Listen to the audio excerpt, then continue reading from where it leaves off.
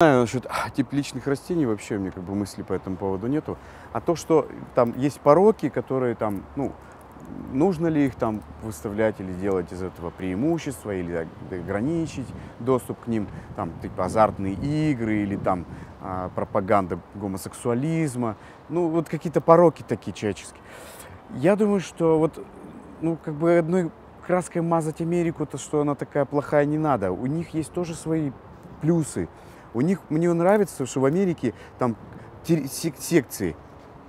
Индейцы в прериях, Голливуд в Калифорнии, пидоры там-то, э, там олигархи там на Уолл-стрит, кружки по интересам.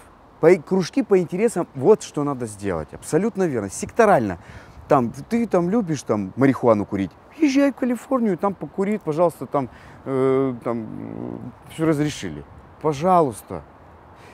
Ты там любишь там, э, ну, порнографию, и езжай туда-то, там, не, там как раз для этого все условия созданы. Шлюх ты там любишь по красным а, улицам красных фонарей гулять. Туда иди. Ты любишь ты там мальчишек. Езжай там в эту область, все, ну, без проблем. Естественно, надо это. И это будет, ну, регламентировано в, в рамках закона. Но говорит, а вот ты там вот этим, там целоваться с мужчинами нельзя на улице, но вот там можно. Хочешь целоваться, иди туда вот и целуйся. Вот так вот это надо. Понимаешь? То же самое, ну травку ты любишь там покурить, ну ничего никому ты там вреда не приносишь. Ну вот зону какую-то сделать, пусть там и ходят, как и вот комната для курения. То же самое в России, комната для курения, курите там, хотите вы, если.